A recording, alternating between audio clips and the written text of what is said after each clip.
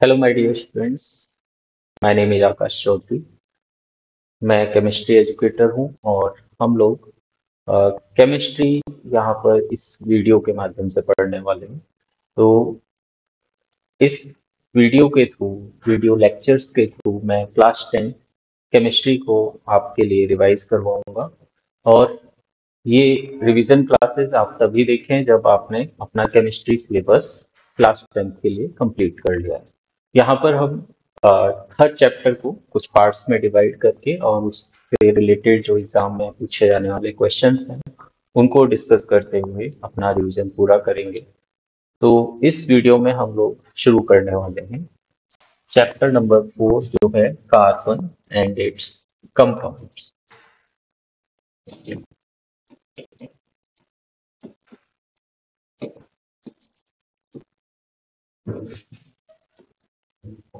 इस चैप्टर को पढ़ने के लिए हमें क्या क्या चीज़ें पता होनी चाहिए?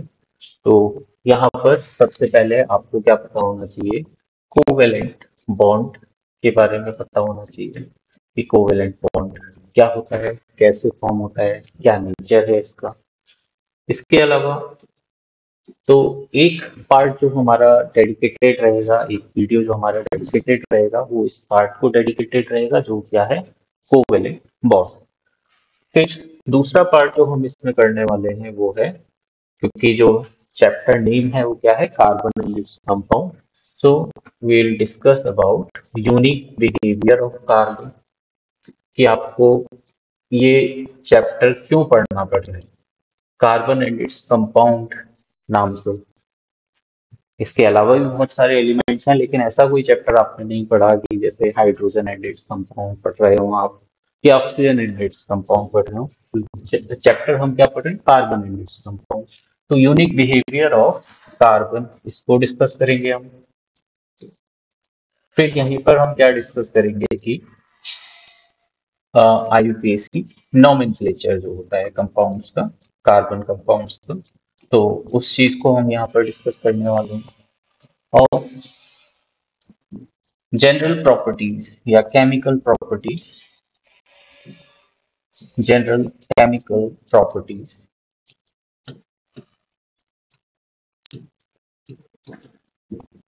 of carbon compounds.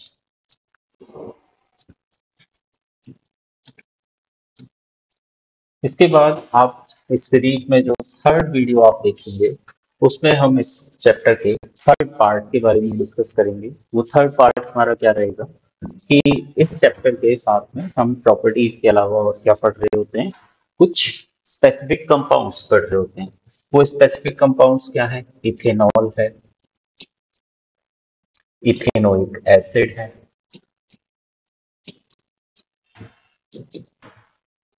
And soaps and detergents तो इस तरह से हम ये तीन वीडियोस में इस चैप्टर को रिवाइज करेंगे। वीडियोस की ड्यूरेशन 30 35 मिनट्स अराउंड रहने वाली so in this video we will start with the first part of this chapter which is the covalent bond so let's start discussing about the covalent bond तो covalent bond क्या होता है? Covalent bond is form due to sharing of electron आप लोग chemical bond के बारे में जानते होंगे केमिकल बॉन्ड क्या होता है? It is the force of attraction that holds two atoms together हमेशा क्या होगा कि दो एटम्स साथ साथ हैं, वो होमो एटॉमिक स्पीशी हो सकती है या हेट्रो एटॉमिक स्पीशी हो सकती है। होमो एटॉमिक का मतलब क्या होगा यहाँ पे? कि होमो मीन्स सेम जो एटम्स साथ साथ हैं, वो एटम्स एक ही एलिमेंट को बिलोंग करते हैं। और हेट्रो एटॉमिक में क्या होगा कि जो एटम्स साथ साथ आ रहे हैं बॉन्डिंग के थ्रू वो एटम्स अलग अलग एलिमेंट्स को बिलोंग करते हैं। ओके तो केमिकल बॉन्ड क्या करता है? दो एटम्स को साथ साथ रखता है। और केमिकल बॉन्ड के दो टाइप्स हैं आपके आयनिक बॉन्ड और कोवेलेंट बॉन्ड ही आपने सुन रखा होगा। उसमें से हम क्या पढ़ने वाले हैं? कोवेलेंट बॉन्ड कोवेलेंट बॉन्ड क्या होता है? It is form by sharing of valence electrons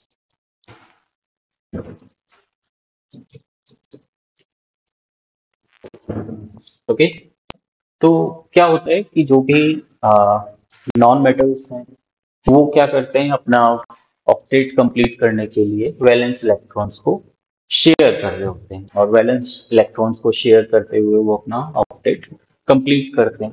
या क्या होगा कि नॉन मेटल्स ये काम आपस में कर सकते हैं नॉन मेटल्स दूसरे नॉन मेटल्स के साथ कर सकते हैं। ओके तो एग्ज़ाम्पल इसका क्या हो जाएगा? एग्ज़ाम्पल आपको मिल सकते हैं, जैसे H2 एक मॉलिक्यूल है। ओके Cl2 एक मॉलिक्यूल है F2 एक मॉलिक्यूल है O2 N2 ये सारी चीज़ें क्या हो गई होमो एटॉमिक मॉलिक्यूल्स हो गए। इसके अलावा हेट्रोएटॉमिक की बात करें एच सी एल हो सकता है आपका एग्जांपल एफ़ हो सकता है H2O NH3 ये कुछ मॉलिक्यूल्स हैं। इनके जो इलेक्ट्रॉन डॉट स्ट्रक्चर्स हैं, वो भी हमें बनाने होते हैं। तो वो भी हम सीखेंगे। जैसे क्या है कि H2 मॉलिक्यूल ये कैसे फॉर्म होगा कि हाइड्रोजन इसका जो एटॉमिक नंबर है वन और इसका जो इलेक्ट्रॉनिक कंफिग्रेशन है, वो भी क्या हो जाता है? वन हो जाता है। तो आप जब भी हाइड्रोजन को इलेक्ट्रॉन डॉट स्ट्रक्चर के थ्रू दिखाएँगे तो आप हाइड्रोजन के सिंबल के साथ एक डॉट बना देंगे। ऐसे ही क्या है कि आपको फ्लोरीन को अगर इलेक्ट्रॉन डॉट स्ट्रक्चर दिखाना है तो फ्लोरीन के लिए एटॉमिक नंबर क्या हो जाता है? नाइन हो जाता है। फ्लोरीन के लिए इलेक्ट्रॉनिक कन्फिग्रेशन क्या हो जाती है? टू कॉमा सेवन हो जाती है। तो आपको जब भी इलेक्ट्रॉन डॉट स्ट्रक्चर दिखाना है तो उसमें क्या करना होता है कि जो आउटर मोस्ट शेल है, इसको हम क्या बोलते हैं? वैलेंस शेल बोलते हैं। तो वैलेंस शेल में जो इलेक्ट्रॉन्स हैं, वो क्या है? वैलेंस इलेक्ट्रॉन्स और उन ब्लैक वैलेंस इलेक्ट्रॉन्स के बराबर हमें डॉट्स बनाने होते हैं तो ऐसे ही आप क्या करोगे? क्लोरीन को जब भी सिंबॉलिकली दिखाओगे तो आप क्या करोगे? क्लोरीन के सराउंडिंग में सेवन डॉट्स बना दोगे। ओके अगर आपको ऑक्सीजन को डिनोट करना है, इस तरह से इलेक्ट्रॉन डॉट स्ट्रक्चर में तो आपको क्या करना होगा कि ऑक्सीजन का एटॉमिक नंबर है एट ऑक्सीजन की इलेक्ट्रॉनिक कॉन्फ़िगरेशन क्या हो जाएगी? Two six outer most shell में आपको कितने इलेक्ट्रॉन दिख रहे हैं? सिक्स इलेक्ट्रॉन तो इसमें नंबर ऑफ़ वैलेंस इलेक्ट्रॉन कितना हो गया? सिक्स हो गया। तो ऐसे में आप क्या करोगे? ऑक्सीजन को इस तरह से ऑक्सीजन का सिंबल जो कि ओ है, वो आपने लिखा। और ऑक्सीजन के सराउंडिंग में इस तरह से सिक्स डॉट्स बना देंगे। और ये आपका क्या हो गया? Electron dot structure of oxygen atom okay अब जब हमें मॉलिक्यूल्स फॉर्म करने हो तो मॉलिक्यूल्स के लिए आपको क्या गिवन होगा? कि आपको गिवन होगा कि भाई H2 मॉलिक्यूल का इलेक्ट्रॉन डॉट स्ट्रक्चर दिखाना है। ओके तो H2 में हाइड्रोजन के पास कितने इलेक्ट्रॉन है? वन है। ऐसे कितने हाइड्रोजन है आपके पास में? दो हाइड्रोजन हैं। ये दोनों अपना एक एक इलेक्ट्रॉन लेकर के आएँगे। और हाइड्रोजन को आ, अपने आउटर मोस्ट शेल में टू इलेक्ट्रॉन्स कंप्लीट करने होते हैं। तो ये दोनों हाइड्रोजन क्या करेंगे? अपने वैलेंस इलेक्ट्रॉन्स को इस तरह से शेयर कर लेंगे। तो आप देख रहे हो उस डायग्राम में कि इस हाइड्रोजन के पास भी दो इलेक्ट्रॉन्स हैं और ये जो दूसरा वाला हाइड्रोजन है, इसके पास भी दो इलेक्ट्रॉन्स हैं। तो H2 का हमने इलेक्ट्रॉन डॉट स्ट्रक्चर यहाँ पर देख लिया। अब हम और मॉलिक्यूल्स को देखते हैं। से आपको Cl2 मॉलिक्यूल ये बनाना है। तो Cl2 मॉलिक्यूल के लिए क्या है? क्लोरीन क्लोरीन की इलेक्ट्रॉनिक कन्फिग्रेशन क्या हो जाएगी? क्लोरीन का एटॉमिक नंबर होता है 70 और इसकी इलेक्ट्रॉनिक कन्फिग्रेशन क्या हो जाती है?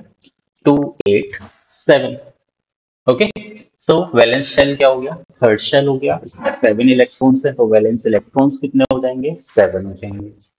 ओके तो आप क्लोरीन को सिंबॉलिकली दिखाओगे इलेक्ट्रॉन सिंबल्स के साथ में तो आप क्या करोगे इसको? क्लोरीन के सराउंडिंग में इस तरह से सेवन डॉट्स बनाने ऐसे एक और क्लोरीन होगा Cl2 के लिए तो आप दूसरे क्लोरीन को भी सिमिलरली इसी तरह से दिखा सकते हो। ओके अब जब Cl2 मॉलिक्यूल ये दोनों एटम्स साथ साथ होंगे तो क्या करेंगे? शेयरिंग ऑफ़ वैलेंस इलेक्ट्रॉन करेंगे। तो आप दो इलेक्ट्रॉन इनको शेयर करते हुए इस तरह से दिखा सकते हो।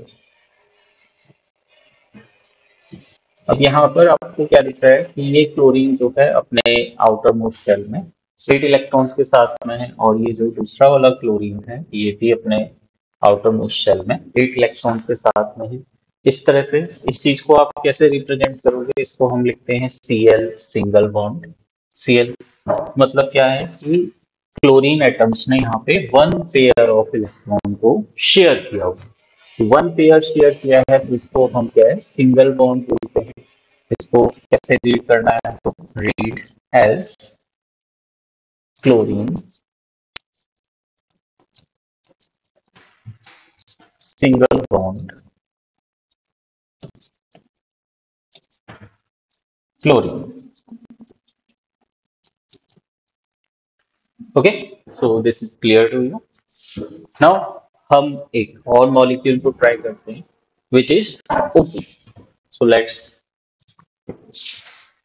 discuss about O2 molecule O2 molecule में क्या होगा कि ऑक्सीजन एटम है ऑक्सीजन एटम की जो एटॉमिक नंबर है एट है, इसकी इलेक्ट्रॉनिक कंफिग्रेशन क्या हो जाएगी? टू कॉमा सिक्स तो वैलेंस शेल सेकेंड शेल रहेगा आउटर मोस्ट शेल वही है इसका। अब, कितने इलेक्ट्रॉन्स दिख रहे हैं आपको? सिक्स इलेक्ट्रॉन्स दिख रहे हैं। तो ऑक्सीजन के सराउंडिंग में हमें क्या करना है? सिक्स डॉट्स इस तरह से बना देते हैं। ओके अब दूसरा जो ऑक्सीजन है, वो भी अपने सिक्स इलेक्ट्रॉन्स के साथ में आएगा। उसके लिए भी आपने ये सिक्स डॉट्स बना दिए। अब क्या करना है कि ऑक्सीजन को ऑक्टेट कंप्लीट करना है मतलब एट इलेक्ट्रॉन्स चाहिए तो अब इसको क्या करना होगा? टू इलेक्ट्रॉन्स शेयर करने होंगे। ओके तो आपको जो मॉलिक्यूल है, वो कैसा दिखेगा कि ऑक्सीजन एटम्स जो है, ये दो पेयर ऑफ़ इलेक्ट्रॉन्स को शेयर करते हुए आपको दिखाई दे रहे हैं। अब आप इस डायग्राम में देख सकते हो कि ऑक्सीजन एटम इसके अगर इलेक्ट्रॉन्स आप काउंट करेंगे one two three four five six seven eight और ये दूसरे वाले ऑक्सीजन एटम के लिए अगर आप इलेक्ट्रॉन्स काउंट करोगे तो one two three four five six seven eight eight इस चीज़ को हम यहाँ पर सिंबॉलिकली कैसे दिखाएँगे? ओ डबल बॉन्ड ओ इसको कैसे पढ़ना है? Read as oxygen bond oxygen now हम नेक्स्ट मॉलिक्यूल के बारे में ट्राई करते हैं, जो है एन टू तो N2 मॉलिक्यूल के लिए आपको क्या करना होगा? नाइट्रोजन एटम है यहाँ पे। नाइट्रोजन का एटॉमिक नंबर क्या होता है? सेवन होता है। इसका इलेक्ट्रॉनिक कंफिग्रेशन क्या आएगा? टू कॉमा फाइव आएगा। नाइट्रोजन के पास वैलेंस इलेक्ट्रॉन कितने हो जाएँगे? फाइव हो जाएँगे। तो अब यहाँ पर आपको क्या है कि जो शेयरिंग ऑफ़ इलेक्ट्रॉन्स दिखाना है, उसमें शेयर पेयर को दोनों एटम्स के बीच में दिखाना होता है। तो आपको क्या करना होगा कि जो फाइव इलेक्ट्रॉन्स है, आप पहले पता करिए कि कितने इलेक्ट्रॉन्स शेयर करने हैं।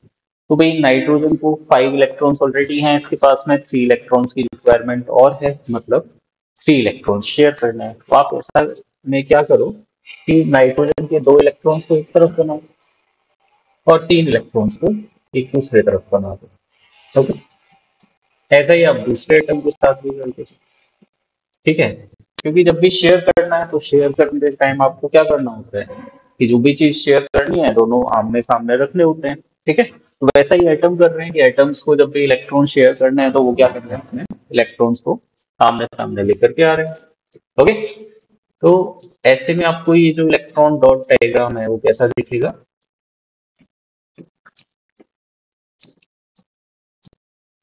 ओके तो अब आप इस नाइट्रोजन एटम के लिए काउंट करके देखो।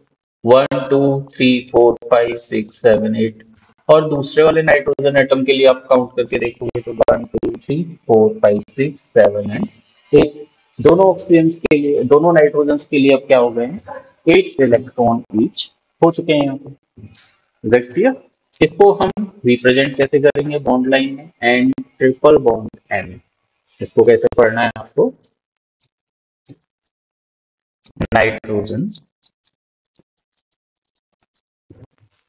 ट्रिपल bond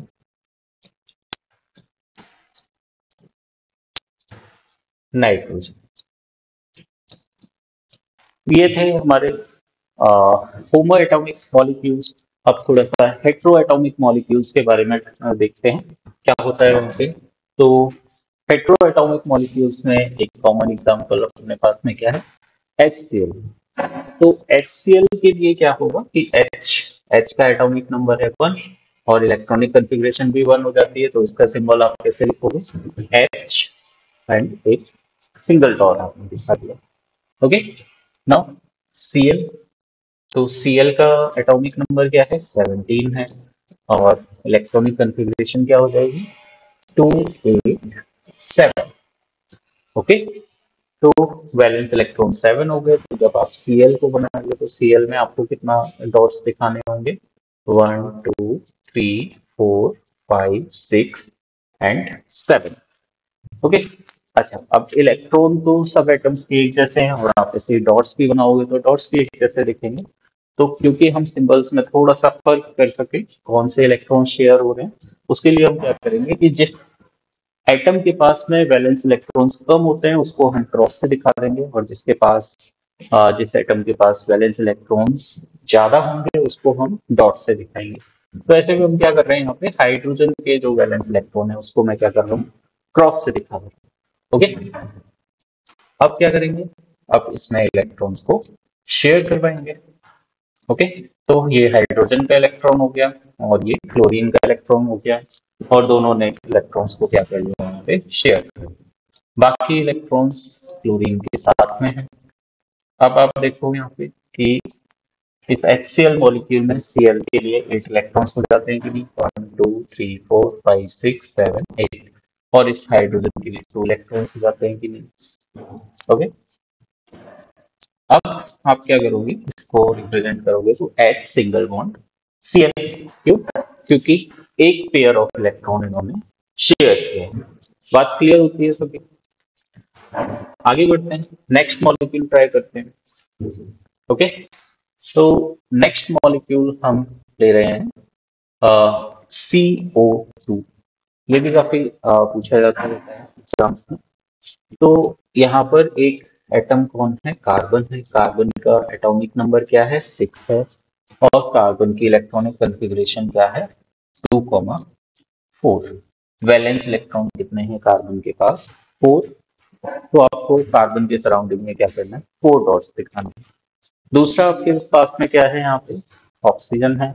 ऑक्सीजन के लिए दो ऑक्सीजन है आपके पास में। और ऑक्सीजन का एटॉमिक नंबर एट कंफिग्रेशन क्या हो जाएगी? Two comma six. तो सिक्स वैलेंस इलेक्ट्रॉन हो गए। अब एक और चीज़ है यहाँ पे कि जो एटम कम होता है इस फॉर्मूले में उसको हम हमेशा आ, बीच में रखेंगे मिडिल ताकि बाकी सारे एटम्स उस एटम के साथ में कनेक्ट हो सके। ठीक है तो ऐसे में आप क्या करोगे? पहले क्या लिखोगे? कार्बन लिखोगे। दूसरे इसके दोनों तरफ़ क्या लिखोगे ऑक्सीजन लिखोगे ओके ऑक्सीजन के पास में सिक्स इलेक्ट्रॉन्स हैं सिक्स वैलेंस इलेक्ट्रॉन्स तो ये आपने बना दिए यहाँ पे। इस ऑक्सीजन के भी सिक्स इलेक्ट्रॉन्स बना दिए। और कार्बन के पास फोर इलेक्ट्रॉन्स हैं, दो इलेक्ट्रॉन दोनों ऑक्सीजन के साथ शेयर करना है तो उस तरह से हमने ये डॉट्स बना दी अब आप क्या करोगे? या तो यहीं पे कंप्लीट कर दो, नहीं तो थोड़ा अच्छा लगे तो डिस्टेंस सही से मेंटेन करते हुए, इस तरह से हम ये डायग्राम बना सकते हैं।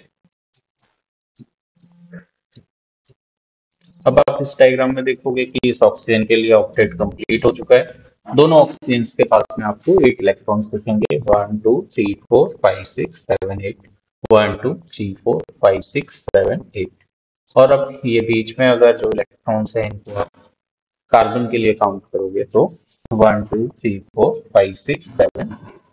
तो अब इसको डायग्राम में आप कैसे दिखा सकते सी। और ये जो कार्बन है, वही ऑक्सीजन के साथ क्या करेगा? डबल बॉन्ड करेगा। तो O double bond, C double bond, O. इस तरह का एक स्ट्रक्चर बन जाएगा। ओके? अब एक और मॉलिक्यूल हम ट्राई करेंगे। वो क्या रहेगा?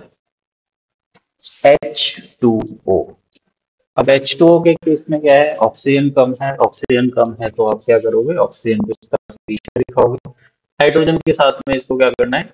एक वन इलेक्ट्रॉन दोनों हाइड्रोजन के साथ में शेयर करना है। तो बाकी जो सिक्स इलेक्ट्रॉन्स हैं, उसको हम इस तरह से दिखा रहे हैं। ठीक है? और हाइड्रोजन के जो इलेक्ट्रॉन्स होंगे, उसको हम क्रॉस से दिखा देंगे। और ये आपको क्या मिल गया यहाँ पे?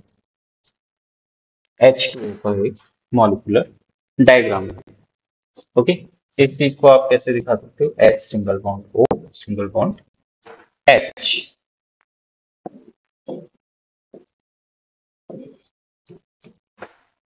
okay now एक और मॉलिक्यूल है NH3 NH3 मॉलिक्यूल में क्या होगा?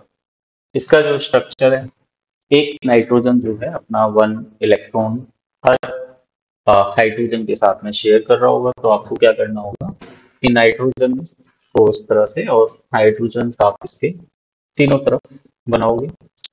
ठीक है? अब एक एक इलेक्ट्रॉन शेयर करना है तो एक एक और एक इस तरह से दिखा देंगे। बाकी दो जो बैलेंस इलेक्ट्रॉन है नाइट्रोजन के, वो यहाँ पे आ ओके?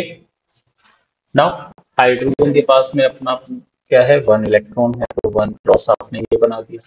तो इस तरह से ये क्या बन जाएगा? NH3 मॉलिक्यूल बन जाएगा आपका, जो ऐसा दिखाई देगा।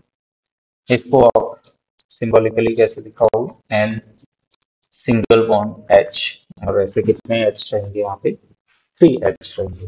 जो इलेक्ट्रॉन शेयर नहीं हुए हैं, उसको चाहो तो आप इस तरह से डॉट बना सकते हो उनके लिए। इनको हम बोलते हैं लोन पेयर्स जो बॉन्डिंग में पार्टिसिपेट नहीं कर रहे हैं, उन इलेक्ट्रॉन्स को हम क्या बोलेंगे? लोन पेयर्स बोलेंगे। सो आई थिंक अब आपको ये मॉलिकुलर स्ट्रक्चर्स क्लियर होते होंगे। हम एक दो मॉलिक्यूल्स और डिस्कस करेंगे जो काफ़ी इंपॉर्टेंट रहते हैं एग्जामिनेशन पॉइंट ऑफ़ व्यू से। वो मॉलिक्यूल्स क्या है? एस एट आपको देखने को मिलेगा। एस एट क्या होता है? यहाँ पर सल्फ़र के एट एटम्स हैं। तो सल्फ़र का जो एक मॉलिक्यूल बनता है, वो एट एटम्स जो है, वो कंबाइन होते हैं। और ये एट मॉलिक्यूल एट एटम्स कैसे कंबाइन होंगे? तो एक सिंपल तरीका है आपका कि आप क्या करो कि एट एटम्स हैं तो एट एटम्स को ऑक्टागन के शेप में आप इस तरह से लिख सकते हो। ठीक है? और आप क्या करो कि सब सल्फ़र एटम्स आपस में दो इलेक्ट्रॉन शेयर करते हुए दिखाई देने चाहिए आप। ओके, अब इसमें जैसे क्या है कि आप इस सल्फ़र एटम के लिए बात करो तो एक इलेक्ट्रॉन इसका यहाँ पे, एक यहाँ पे, और सल्फ़र का जो एटॉमिक नंबर होता है, वो क्या होता है? सिक्सटीन होता है। इसकी इलेक्ट्रॉनिक कंफिग्रेशन क्या आएगी? Two comma eight comma six आएगी। ओके तो ऐसे में सिक्स इलेक्ट्रॉन्स होने चाहिए थे, आपको कितने दिखाई दे गए टू दिखाई दे रहे हैं। तो बाकी फोर इलेक्ट्रॉन्स को आप इस तरह से बाहर की तरफ़ दिखा दो, जो बॉन्डिंग में पार्टिसिपेट नहीं कर रहे होंगे।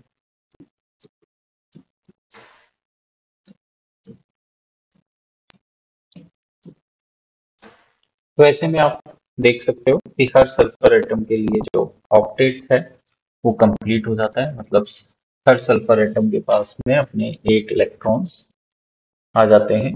By the sharing of electrons okay इस चीज़ को आप थोड़ा सिस्टमेटिकली जहाँ पे कि हम बॉन्ड्स बनाते हैं तो उस तरह से आप ऐसा दिखा सकते थे।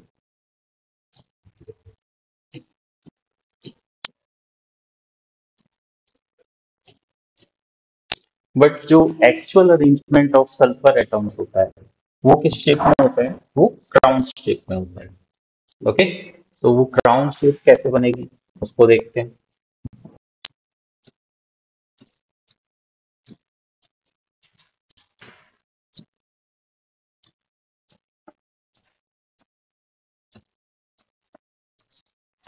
इस तरह का एक क्राउन शेप होगा।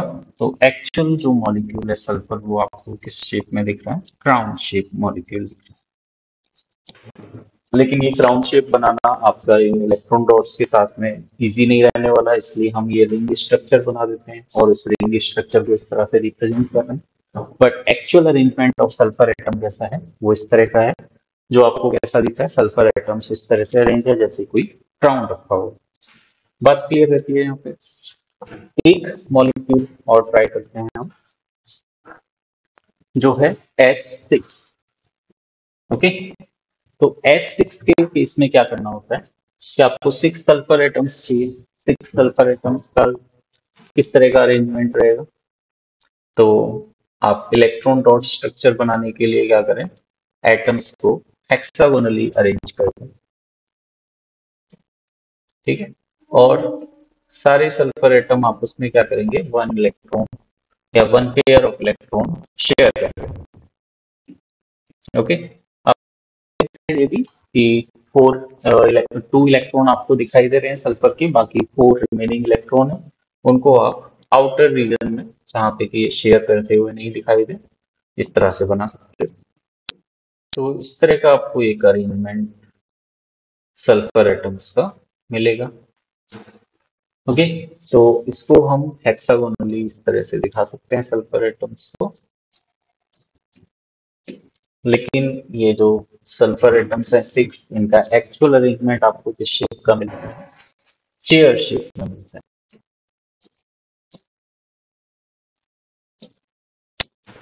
इस तरह से ये क्या है? चेयर शेप इस तरह से आपके पास में और भी कुछ एग्जांपल्स आ सकते हैं, जैसे कुछ कार्बन कंपाउंड्स का हो गया। कार्बन कंपाउंड्स में जैसे सी एच फोर एक मॉलिक्यूल हो जाता है। तो सी एच फोर मॉलिक्यूल के लिए आप क्या करोगे? कार्बन के सराउंडिंग में फोर हाइड्रोजन इस तरह से दिखा सकते हैं। इसमें हाइड्रोजन के इलेक्ट्रॉन्स को हम क्रॉस से और सल्फ़र के कार्बन के इलेक्ट्रॉन्स को हम डॉट से दिखाने वाले ओके तो यहाँ पर आप देखोगे कि ये जो कार्बन है, इसके लिए एट इलेक्ट्रॉन्स कंप्लीट हो चुके हैं। ऐसे ही इस हाइड्रोजन के लिए, इस हाइड्रोजन के लिए, इस वाले के लिए, इन सब के लिए क्या हो गया? One electron one pair of electron complete हो गया। इस चीज़ को आप सी सिंगल बॉन्ड एच और ऐसे फोर सिंगल बॉन्ड्स बना सकते हैं। ओके, ऐसे ही एक molecule C two H six इसमें आप क्या करेंगे कि दो कार्बन आपस में इलेक्ट्रॉन शेयर करेंगे इस तरह से। और बाकी सिक्स हाइड्रोजन है तो हर कार्बन थ्री हाइड्रोजन के साथ में आपको बॉन्ड करता हुआ दिखेगा।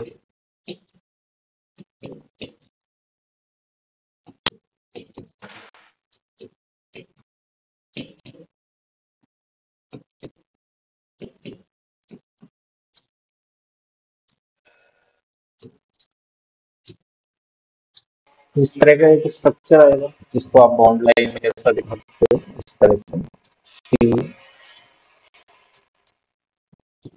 सिंगल बॉन्ड और आपस में दो कार्बन सिंगल बॉन्ड कर रहे हैं, और बाकी दोनों कार्बन तीन तीन हाइड्रोजन के साथ सिंगल बॉन्ड करते हैं।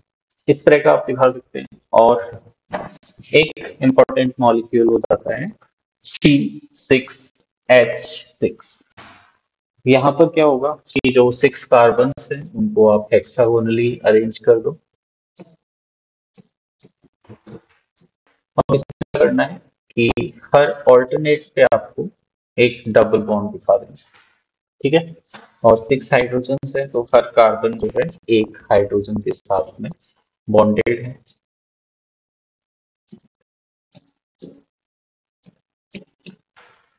अब आप पूछेंगे कि इसका इलेक्ट्रॉन डॉट स्ट्रक्चर क्या रहेगा? तो ये आपके लिए टास्क रहेगा कि आप इसका इलेक्ट्रॉन डॉट स्ट्रक्चर कैसे बनाएँगे। तो this is all about the covalent bond तो कोवेलेंट बॉन्ड क्या होता है? शेयरिंग ऑफ़ इलेक्ट्रॉन से फॉर्म होता है। जो एटम्स हैं, वो आपस में क्या करते हैं? बैलेंस इलेक्ट्रॉन को शेयर करते हैं। जितने नंबर ऑफ़ पेयर्स शेयर हो रहे हैं वो उस बॉन्ड का मल्टीपल होता है, जैसे अगर वन पेयर हो रहा है तो सिंगल बॉन्ड बोलेंगे उसको, अगर टू पेयर्स हो रहे हैं तो डबल बॉन्ड बोलेंगे, और थ्री पेयर्स हो रहे हैं तो ट्रिपल बॉन्ड बोलेंगे। तो इस वीडियो में हमने मॉलिक्यूल्स के लिए स्ट्रक्चर ट्राई किए। आप लोग इन मॉलिक्यूल्स को याद रखेंगे और ट्राई करेंगे। नेक्स्ट वीडियो में हम बात करेंगे यूनिक बिहेवियर ऑफ़ कार्बन की। तो this is the end of this video